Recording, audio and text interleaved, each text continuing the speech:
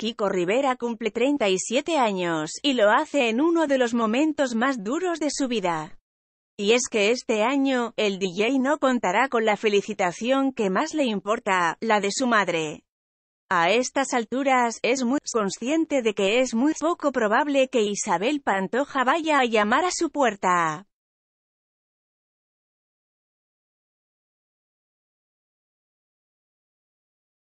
Además, debido a las restricciones asociadas con la pandemia, tampoco hay lugar para fiestas o celebraciones. Aunque, viendo el estado anímico en el que tanto Kiko como su esposa Irene se encuentran, está de más pensar siquiera en ello. Así, alejado de amigos, de su madre e incluso con proyectos profesionales aplazados, el hijo de Isabel Pantoja pasará uno de sus cumpleaños más solitarios y tristes.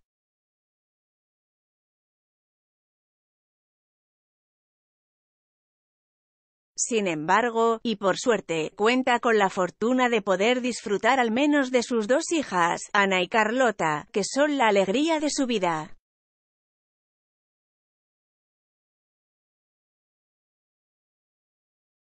Su mujer, Irene Rosales, una mujer destrozada que ya no puede más.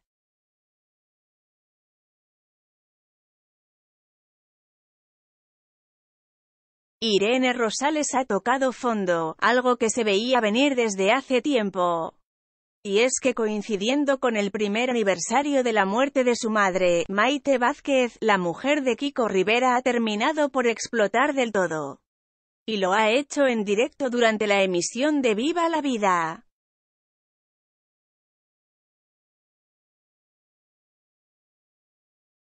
Además, Irene ha admitido que ahora mismo está tan mal anímicamente, que no se siente capaz de ayuda a su marido, quien libra su propia guerra personal contra su madre, Isabel Pantoja.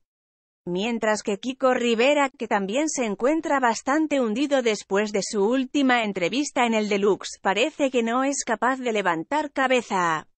Lo que le ha llevado a evitar pisar un plató televisión por el momento todo, por su propio bienestar mental.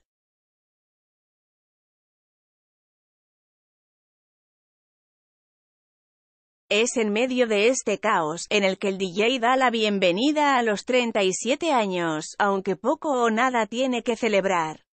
Y es que si bien el año pasado tampoco pudo disfrutar de este día especial, este año el dolor es todavía mayor. No tiene a su madre, ni a sus amigos ni tampoco motivos para saltar de alegría. ¿Se replanteará Kiko todo lo dicho en televisión?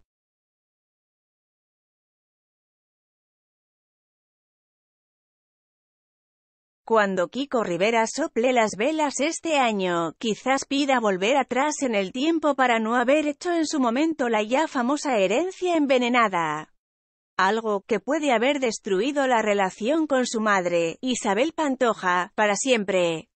Y es que a estas alturas, la tonadillera no puede ni ver a su pequeño del alma, y mucho menos tendrá ganas de felicitarle en este día tan especial.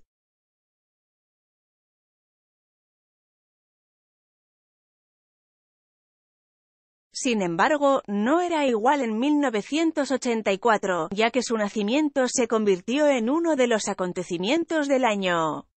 Hijo de una de las cantantes más famosas del momento y de uno de los toreros más aclamados, Francisco Paquirri, desde un inicio su vida estuvo marcada por la tragedia. El pequeño Paquirrin, como empezaron a apodarle los medios con cariño, perdía a su padre con tan solo cuatro meses. Un padre al que jamás llegó a conocer pero al que aprendió a querer y por cuya herencia lucha a día de hoy.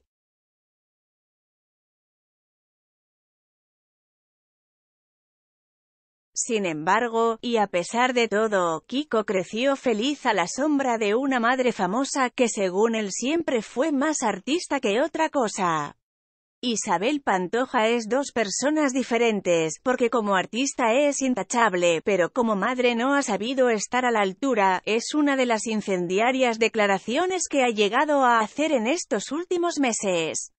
De pronto, al DJ se le caía esa madre que tanto idolatraba y descubría a una mujer ambiciosa capaz de robarle a su propio hijo. Este año, seguramente será el primero en que Isabel Pantoja no felicite a su hijo, y Kiko sienta el dolor tal y como él mismo dijo hace poco, de ser huérfano sin serlo.